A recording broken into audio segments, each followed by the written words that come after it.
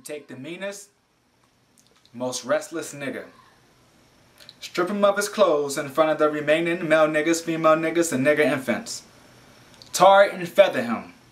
Tie each leg to a horse facing the opposite direction, set him on fire, and beat both horses until they tear them apart. In front of the male, female, and nigger infants.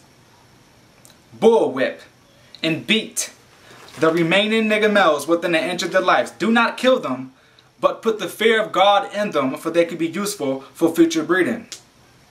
Anybody know who Willie Lynch was? Anybody? Raise your hand. No one? He was a vicious slave owner in the West Indies. The slave masters in the colony of Virginia were having trouble controlling their slaves, so they sent for Mr. Lynch to teach them his methods.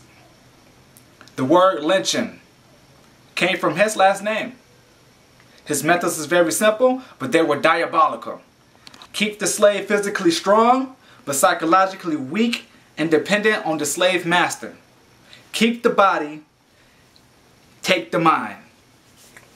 I and every other professor on this campus are here to help you to find, take back, and keep your righteous mind.